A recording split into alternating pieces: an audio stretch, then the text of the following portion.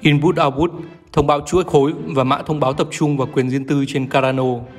Input Output Global, công ty đứng đằng sau chuỗi khối Cardano, đang phát hành một chuỗi khối bảo vệ dữ liệu và tập trung vào quyền riêng tư mới, cũng như mã thông báo đi kèm. Giám đốc điều hành công ty Charles Hawkinson đã công bố tại một sự kiện tại Đại học Edinburgh ở Scotland vào thứ Sáu.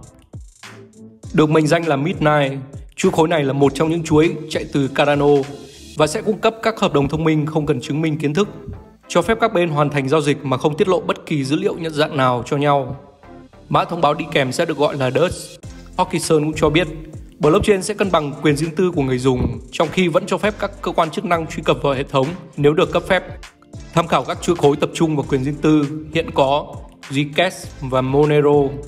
Hawkinson cho rằng Midnight sẽ được xây dựng bằng ngôn ngữ lập trình được chấp nhận rộng rãi hơn để cho phép nhiều nhà phát triển xây dựng trên mạng. Midnight vẫn đang được phát triển và Input Output Global cho biết họ sẽ tiếp tục cung cấp các bản cập nhật khi họ làm việc với nó vào năm 2023.